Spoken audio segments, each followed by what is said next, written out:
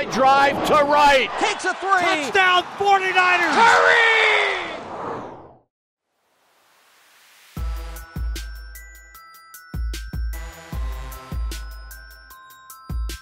So we try and put Steph through stuff that he'll he'll be doing more in games instead of just straight shots. It's more off the move, things that are pertinent to our offense.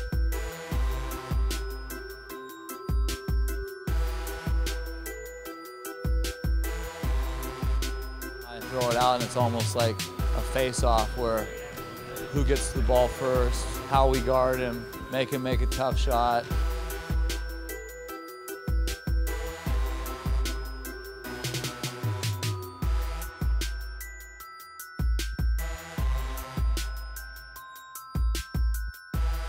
Nick always wants to do it, so Steph sort of deemed that portion of the workout bringing Nicky joy.